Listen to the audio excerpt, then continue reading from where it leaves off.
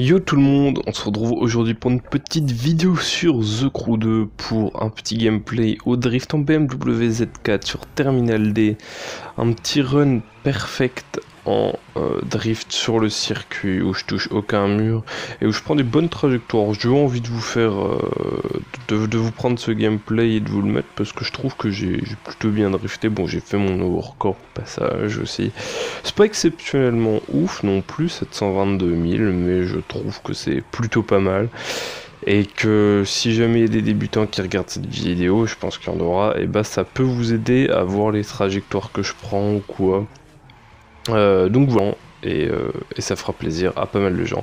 Donc du coup n'hésite pas à liker la vidéo si elle te plaît, à t'abonner si ce n'est pas déjà fait, activer la cloche de notification pour ne louper aucune des prochaines vidéos, à partager, ça fait toujours plaisir et ça prend pas beaucoup de temps. Moi je te dis à la prochaine, je te laisse avec la fin de la vidéo et ciao ciao, allez bye